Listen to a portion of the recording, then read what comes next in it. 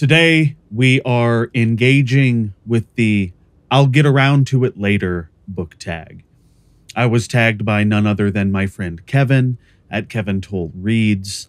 Kevin was tagged by our good friend Pat at Book Chat with Pat, and Pat was tagged by Jess at Jess Book Girl TV. And together, it would seem, we form a sort of Ouroboros of literary procrastination. This tag appears to be designed to expose the fact that for every book we read, there are no fewer than a hundred that we mean to read. So let's go ahead and dive right into it, shall we? Prompt number one a classic book that you've been meaning to read forever but haven't read yet. The Recognitions by William Gaddis. I can hear the collective gasp now from the hardcore postmodernists. Gaddis is an architect of Byzantine sentences that twist and turn like an Escher drawing.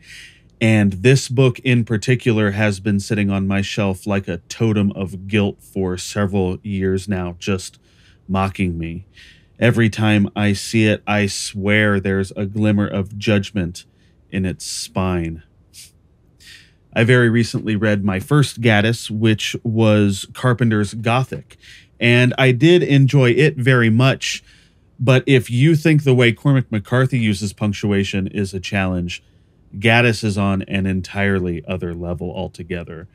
So I'd be lying if I said I wasn't just a bit intimidated by the tome that is the recognitions.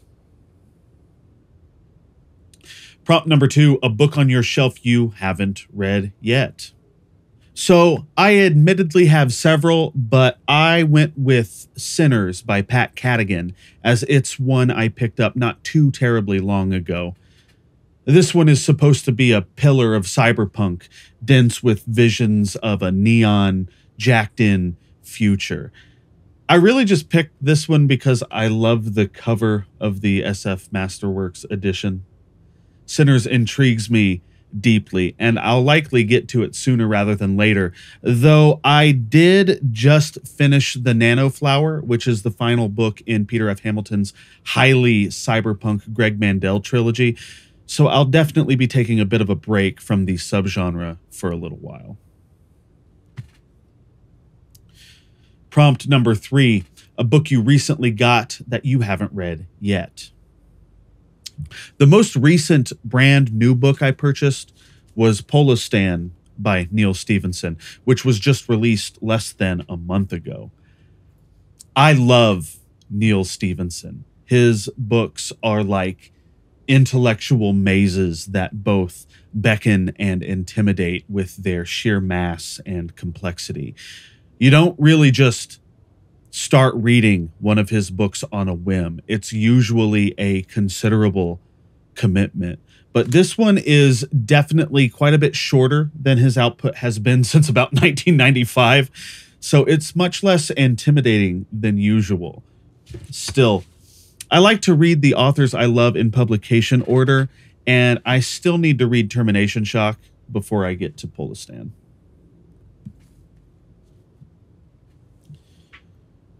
Prompt number four a book you've had forever but haven't read yet. Foucault's Pendulum by Umberto Eco. This one exudes an aura of intellect and complexity that is cripplingly intimidating. I picked this one up back in 2018 and it's been haunting my shelves ever since. A book a friend recommended that you haven't read. A Voyage to Arcturus by David Lindsay. Recommended by my friend Jubal, whose taste I trust implicitly which definitely makes the unread state of this book far worse. A friend's recommendation carries a different weight, doesn't it? It's not just the book you're avoiding, but the nod of approval from someone who knows you well enough to recommend something to you. It's like a pebble of guilt in your shoe. Sorry, Jube. I'll get to this one eventually. I promise. Prompt number six a book you are procrastinating on. So for this one, I went with Pet Sematary by Stephen King. My wife and I started it toward the beginning of October with every intention of working our way through it slowly and steadily over the month.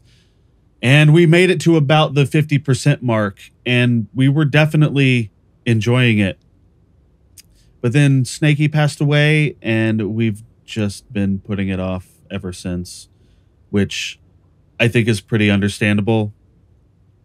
I don't want to just completely DNF it, but it's probably going to be quite a while before we pick it back up again. And then prompt number seven the next book on your TBR. Now, here's where the chaos of intention unfurls. I typically have three books going at once one genre book, one lit fic book, and one nonfiction book. I'm currently finishing up Good Morning Midnight by Lily Brooks Dalton, If on a Winter's Night, A Traveler by Italo Calvino, and I just started Alex's Adventures in Numberland by Alex Bellos. But the next ones up on my TBR in their respective categories are for genre, What Moves the Dead by T. Kingfisher, something that I picked up thanks to Carly at Chamblin and the Bookstore Challenge. For literature, All the Pretty Horses by Cormac McCarthy. And for nonfiction, The Dawn of Everything by David Graeber and David Wengrow. So there it is, a litany of books that I've been avoiding for one reason or another. I wouldn't say that these books represent failures of time management so much as promises I've made to myself about the person I want to be. Someone with more time, with more curiosity, and more adventurousness. But that's okay. I'll get around to it later. Thanks so much to Kevin for tagging me on this one. I always appreciate being included in these things.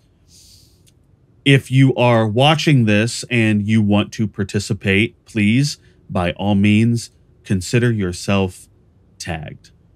Otherwise, I will catch you in the next video. Thank you for watching.